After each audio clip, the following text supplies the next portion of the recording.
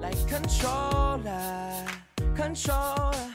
Hey guys, welcome back to my channel. My name is Sonali if you guys don't already know me. And today I'm going to be doing a simple bronze makeup look. A lot of you have been requesting more simple looks, so I wanted to do this little everyday bronze makeup tutorial. I've been doing it a lot recently, and I'm using some new products here and there, so it won't be repetitive, I hope. This look is super easy to achieve, and if you want to learn how to do it, then keep on watching.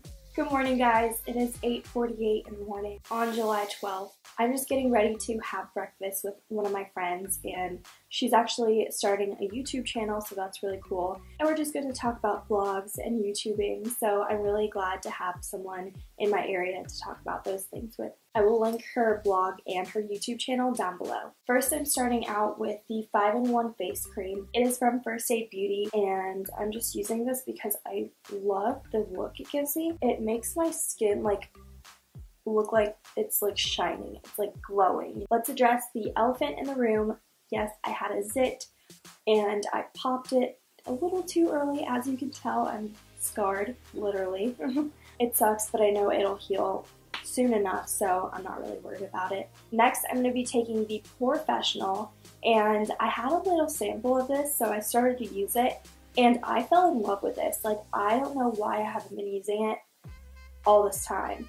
And I know I used to say the Maybelline one was a dupe for this, which I mean, it wasn't bad and I still probably would use it if I, I had it, but I just think this fills in your pores so much better. You instantly see your pores like gone. You like don't even see it. So I start off with the nose and then just spread it onto my cheeks, my forehead. Next I'm going to be using my favorite foundation ever. I just got a refill for this and I couldn't be happier because, oh shit, do you see that? I'm literally almost out. Like, that is like the end. I got the refill for perfect timing because I would have been so upset if I didn't have more of this foundation around.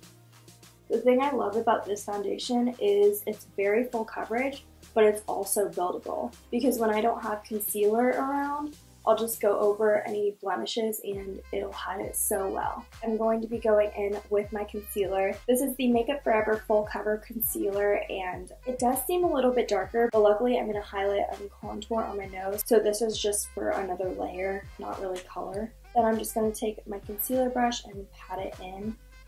Then I'm also taking my Beauty Blender and dabbing that into my skin to blend out really well and blend the colors together is a tad bit darker than my foundation. So my scar, you can't really tell. I mean, maybe like a little if you're looking, but I hit it pretty well. So now we're going to move on to concealer slash highlighter. This is the Urban Decay Naked Skin Concealer. It is the best concealer ever. If you don't have it, if you've never tried it out, please go do yourself a favor and go to Sephora and do so. So this morning I was in bed and I came across a Facebook video of Jake and Peyton's wedding. If you guys don't know who they are, Jake Ganus was a UGA football player for the last year, I think, and he proposed to his girlfriend on UGA's field after a game. And after that, they like went viral. And honestly, they're so cute, literally goals. Please just go and check out their Instagrams. It's Peyton Thomas and Jake Ganus, I think. And seriously, you'll fall in love. Was in my bed crying this morning. I'm just using a beauty blender to blend the concealer out. I use my beauty blender dry most of the time because first of all, I'm too lazy to get it wet. And second of all, I think it does a pretty good job dry, but it also does an amazing job when it's wet. But I don't do my makeup in the bathroom, so it's just so inconvenient for me when I have to wet it. I am going to bake because it just looks so much better when I do.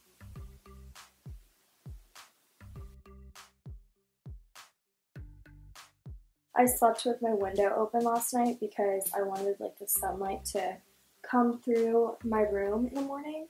And honestly, it was the best decision ever because I just felt so much better when I woke up. So I feel like I should do that every night, but I also don't want to like feel like I'm getting stared at in my sleep. so I'm not really gonna let this baking sit. I'm just gonna like press it into my skin wherever it needs it. I like to set my face before I go on to powder products because I'm going to be doing bronzer and blush next. Next, I'm going to be taking one of my newest bronzers. This is the Soleil Baked Bronzer by Milani. It is gorgeous. The packaging is everything. So I'm just taking it on a big fluffy brush and I'm just going to try to like pinch the brush a little and go in my contour hollow.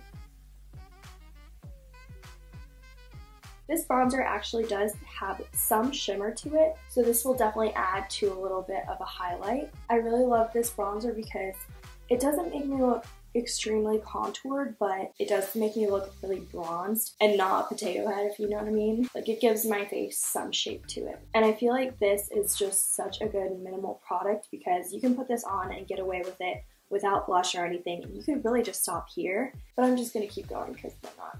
Just a little more. Next, we're gonna do blush. This is from L'Oreal and it's in the color Apricot Kiss. I love this blush because I feel like you can never really go too overboard with it just because it's so light and corally and it's not such a harsh color. Next, I'm going to go in with a highlighter. This is my newest highlighter. It is the Gilded Honey from Laura Geller, and it is so pretty. This is by far one of my favorite highlighters that I own. One trick for you guys when putting on highlighter is to get a brush and some spray. This is Urban Decay's All Nighter Makeup Setting Spray. You can also use Max Fix Plus. It's just whatever you got at home. All you have to do is just spray the brush and then just dip it into the highlighter and go ham. And it goes on so nicely. Another way you can do this is spray your whole face and then put on the highlighter. I just like to do it this way. It is so pretty, guys. I've never felt this way about a highlighter before. I love nose highlight. Oh my god, I forgot to contour. Hold up. I'm just taking my Hoola bronzer for this contour, and I'm just taking the bare minimum product because you don't want to mess up your nose and make it look too muddy. So I'm to do my brows and mascara off camera, so I'll be right back. So my brows are done, my mascara is done. Now lips is the last thing. I'm to take my lip scrub from Glam Glow and just scrub my lips because they look crusty.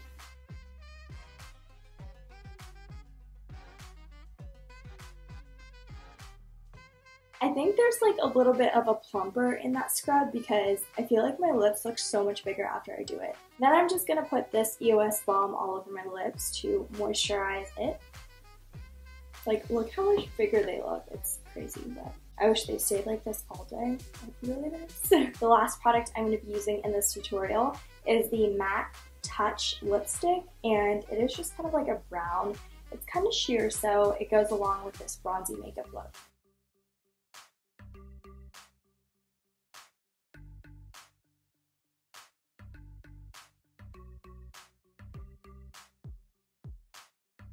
This is the finished makeup look. I hope you guys really enjoyed it. It was kind of short, but I know some of you like the simple looks.